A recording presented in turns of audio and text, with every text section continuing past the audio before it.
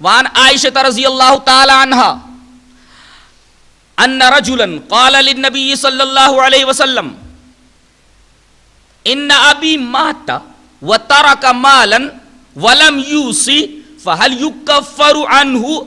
ان اتصدق عنه؟ قال، نعم. رواه النسائی فی کتاب الوصایا فی باب فضل الصدقۃ عن المیت امام نسائی اس حدیث پاک کو حضرت عائشہ رضی اللہ تعالیٰ عنہ اس کی راویہ ہیں۔ امام نسائی اس کو کتاب الوصایا کے اندر لائے باب کیا ہے؟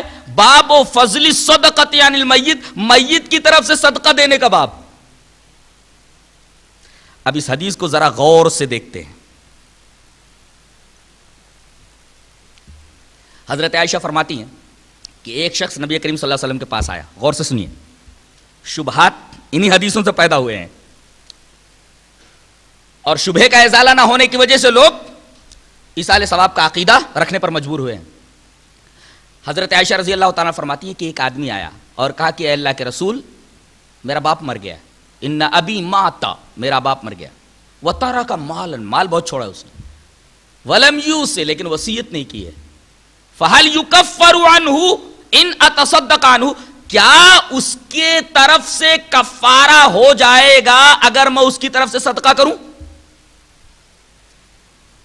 نبی کریم صلی اللہ علیہ وسلم فرمایا نام ہاں اس کی طرف سے تو صدقہ کر سکتا ہے۔ اب دیکھیے، یہاں وسیعت بھی نہیں ہے، لیکن نبی کریم صلی اللہ علیہ وسلم نے یہ فرمایا کہ اگر تو اس کی طرف سے صدقہ کرے گا تو صدقہ میت کی طرف سے ہو جائے گا۔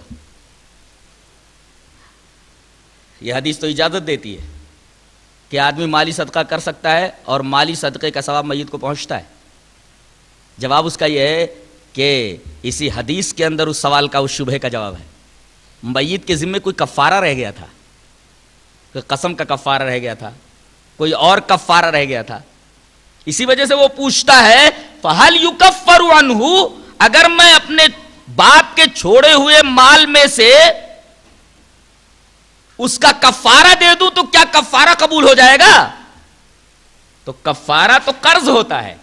میت کی طرف سے وہ قرض تو ادا کرنا ہی ہے۔ لہذا یہ حدیث عیسال ثواب کے موقع پر دلیل نہیں بن سکتی۔ اس لیے کہ میت کی طرف سے کوئی کفارہ باقی تھا، جو وارث نے اس کی طرف سے ادا کرنے کی اجازت چاہی اور نبی کریم صلی اللہ علیہ وسلم نے اجازت دے دی۔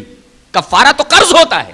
اگر کفارہ ہو تو میت کے مال سے وہ کفارہ دیا جا سکتا ہے۔ فہل یکفر عنہ۔